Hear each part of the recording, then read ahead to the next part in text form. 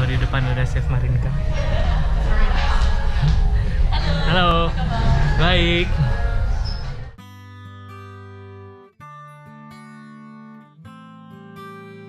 Jadi kita ketemu sama Chef Marinka hari ini. Ada menu istimewa.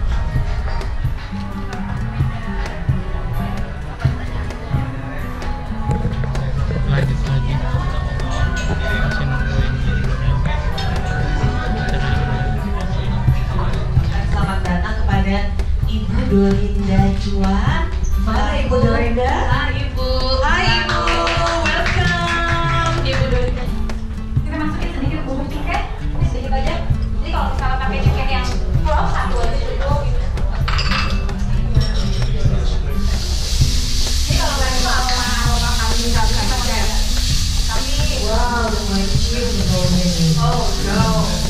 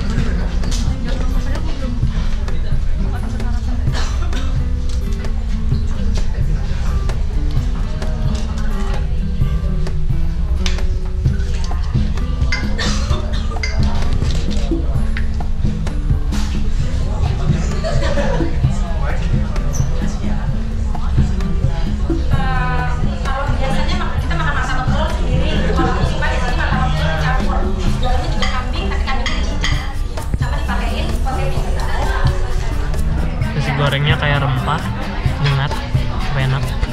Lepas ya biar nggak. Ya penghabisan, terima kasih. Dan lemnya sama seratnya nggak terlalu banyak, budaikunya. Terus karena nasi go- kayaknya nih nasi gorengnya nggak pakai kecap, jadi nggak ada rasa kedelai, nggak ada rasa kecap. Manisnya nggak berlebihan, lebih ke panas. Ya biasa nasi goreng kambing. Kondimennya banyak, dah. Jadi kita sekarang mau nanya nasi goreng kambing. Katanya tadi pakai bunga. Pakai apa? Pakai bunga. Pakai bunga edible Iya, flowers. edible. Itu eh, kalau dalam sajian ini apa aja? Bunganya? Iya.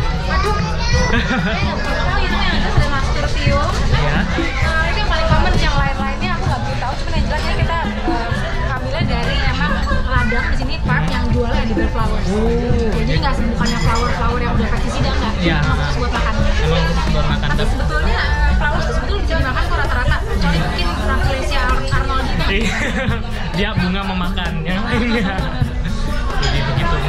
Tapi kalau dalam menunya sendiri kan aku udah nyicip tadi. Emang nggak pakai kecap atau gimana? Eh, harusnya pakai kecap manis sebetulnya. Ya mungkin tadi di belakang mungkin belum pakai pakai.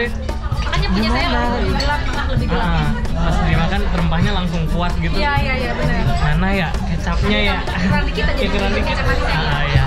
Dan eh, kalau tadi kan saya udah bilang nasinya dipersiapkan sehari Iya. sebelum sama dagingnya dagingnya kalau bisa dimarinate dulu dengan bumbu yang sebelumnya tadi itu dibikin. Berapa lama kira-kira? Oh, semakin lama semakin bagus ya. Tapi kalau misal dagingnya itu garam kalau oh berarti nggak boleh pakai garam di dalam minyaknya itu karena kayak keluar airnya dan ah, teksturnya nggak sebagus yang pertama ya, kering kering. Terus uh, dalam menu ini juga pakai uh, martabak tadi aku rasa agak nyaru gitu. Kayak antara martabak telur dan dan itunya uh, nasinya gitu. karena martabak telur ini harusnya pakai acarnya tuh uh, ada yang kamu sukanya. Hmm. martabak telur isinya kentang oh, iya. sama kambing. Kentang sama kambing dalamnya ada bumbu karinya juga bumbu karinya.